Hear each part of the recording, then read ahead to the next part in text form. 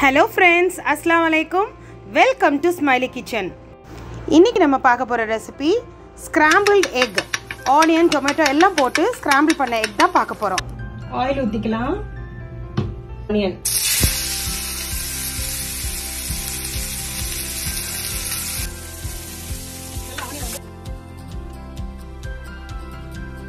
அது கூட ஒரு பிஞ்ச் சால்ட் போட்டுக்கலாம். கிரீன் சில்லியும் கொரியாண்டரும் போட்டுக்கலாம். அதுக்கப்புறமா டொமேட்டோஸ் போட்டுக்கலாம். இப்போ நம்மளோட எக்கை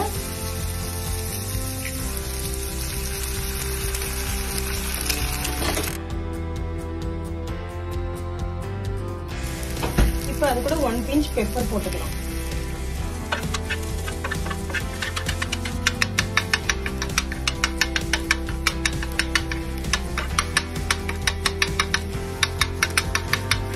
இப்போ நம்மளோட ஸ்கிராம்பிள் டே ரெடி ஆயிடுச்சு.